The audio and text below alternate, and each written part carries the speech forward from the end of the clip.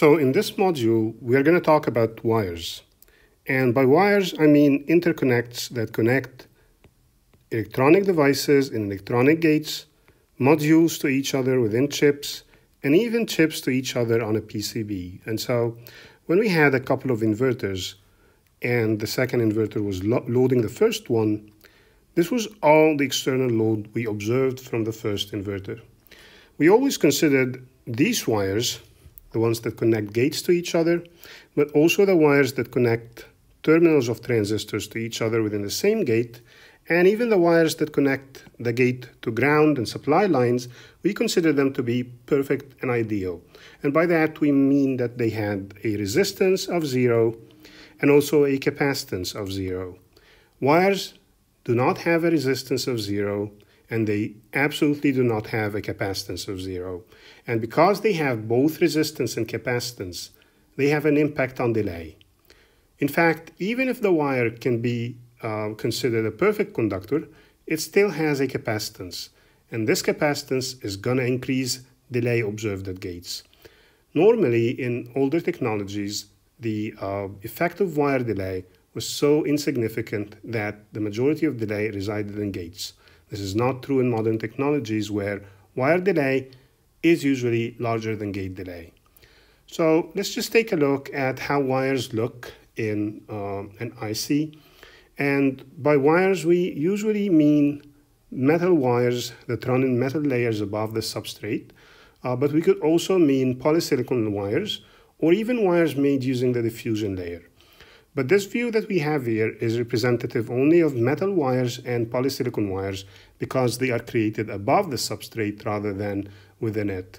So as you can see, everything is floating within a um, sea of silicon dioxide. And silicon dioxide provides insulation for components from each other, as well as mechanical support for the wires. Now, the problem is that we have a conductive plate in the substrate and a conductive plate in each of these wires. Now this means that there is a capacitance between the wire and the substrate.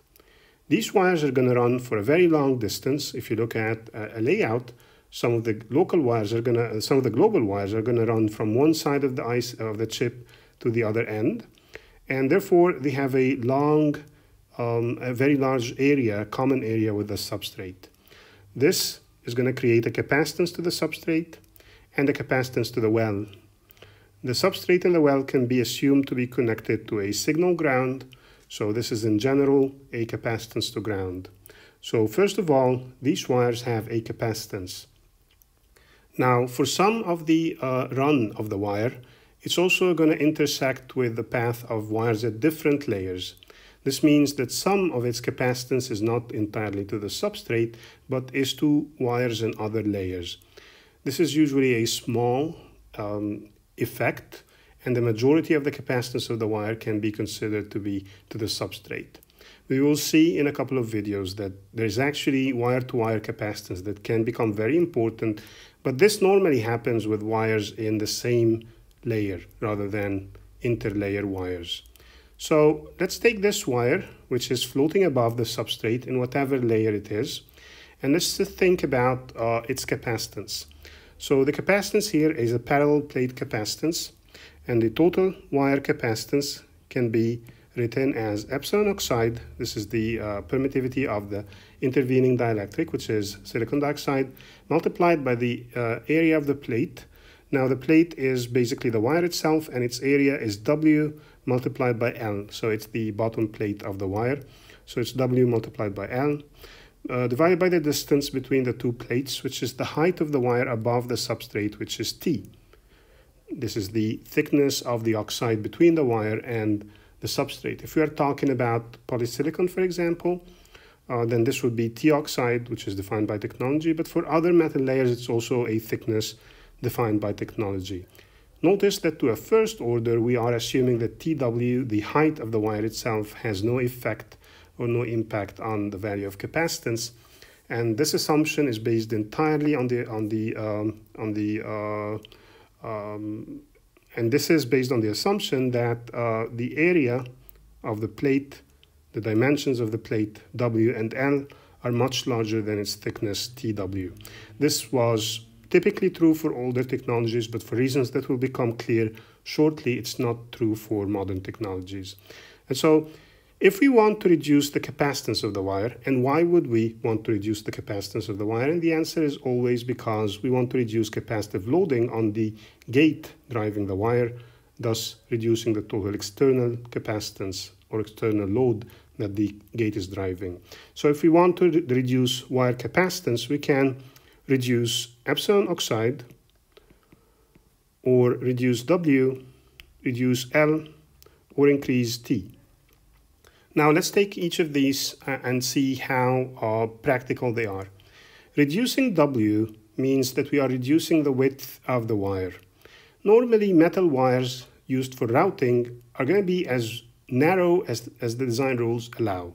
And therefore there is a floor that you hit real soon when scaling down wires, uh, when reducing the width of wires, which is determined by DRC. Beyond that, you cannot make the wires any thinner.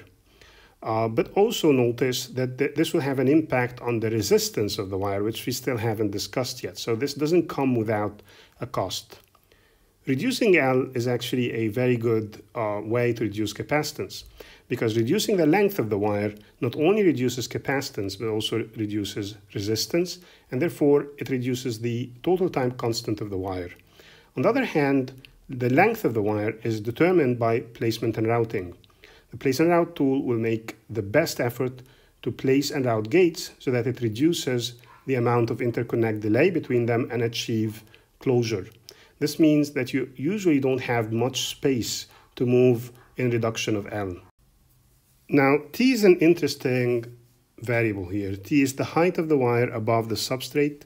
And in fact, this is um, very interesting because in, at first it seems like we can reduce capacitance by increasing T and we will not pay anything in return. And this might seem true, especially for metal wires. I mean, you can't use the same sense for polysilicon because polysilicon needs to be relatively close to the substrate so that transistor gates have electrostatic control over the channel, but for metal wires, there, there, really doesn't seem to be anything stopping us. But this is not true. There are technological challenges in uh, raising the wire above the substrate. So if you have a metal wire that is relatively close to the substrate or to the layer just be below it, recall that wires need to connect to layers below and above them through contacts or vias and so there will be a via down here. But if, it, if we have a metal layer at a higher uh, altitude and it needs a via, the via is going to be much longer than this. Now think about the kind of etching you will need to open this via down all the way down to the substrate and the kind of etching you will need here. So you'll need to etch longer for the uh, higher, for the high altitude wire, for uh, the via to open all the way down, which, which is going to mean more lateral etching, which is going to reduce the, uh, the density of vias and it's going to reduce the density of wires as well. But one more thing here is that the longer the vias, uh, the longer we have a path that current has to pass through on its way down. This path is usually very narrow because vias are as narrow as possible to promote density, which means that current density through the via is going to be large. Now, this is going to create uh, a phenomenon called electromigration. And electromigration is a phenomenon where the continuous flow of a high current density over time leads to deterioration in the metal of the uh, in, in the wire. This deterioration happens because atoms from the wire are going to migrate with the current, thus increasing the resistance of the contact with continued use. And so wires that are at a higher latitude that need longer vias are going to suffer from electromigration more. And this is a huge reliability issue which can lead to failure over time.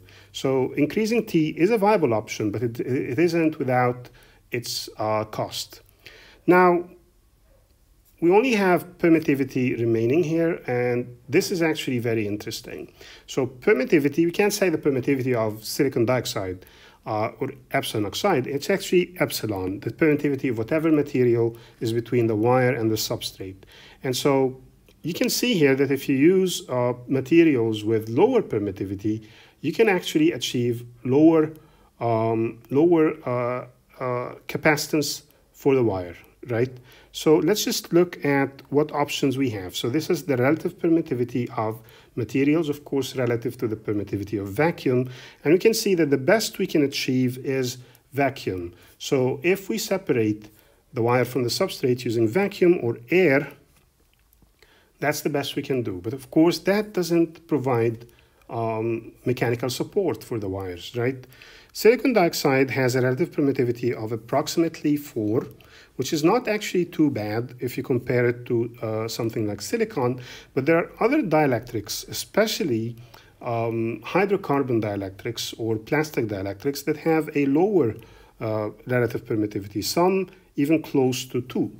And so this is an interesting choice here because it can reduce the capacitance of wires by two, twofold just by using a different, uh, a different dielectric. And that, you know, again, has no apparent cost. But again, the cost of using a low permittivity dielectric is technological mainly because silicon dioxide is a great insulator to work for work with.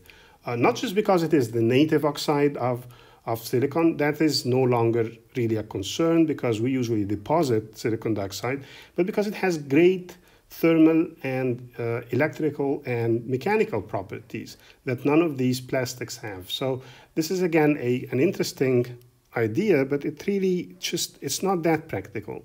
Now, if you look at the uh, equation of capacitance again, C wire wire capacitance is equal to epsilon oxide W times L over T. And if you want to separate technology dependent versus the design dependent parts of the wire capacitance, we can say that epsilon oxide by T is the wire capacitance per unit area, and we will call this C wire per unit area. And all you have to do is multiply it by the area of the wire, and you get the total capacitance. You can also be given uh, wire capacitance per unit length. So in that case, the technology depend dependent part will be epsilon oxide W over T, and you just have to multiply that by the length of the wire to get total uh, capacitance. And so this would be CL times L, and CL will be in uh, microfarad per, per micrometer, for example. So why would we fold in uh, width with uh, technology defined parameters? Because in some cases, some designers will always use wires with minimum width. Uh, this, that is the width that is dictated by DRC, and will just leave length as an open parameter. Sometimes not, but in, in most cases, yes, you do reduce the width of the wire as much as possible in order to reduce, not only reduce its capacitance, but also to increase the packing density of wires, which actually opens up a good uh, chance for finding closure for the place, place and route tool, which in return would reduce the average length of wires in, in, in the circuit, which has a great impact on not only capacitance, but also resistance, and thus on the total delay of wires.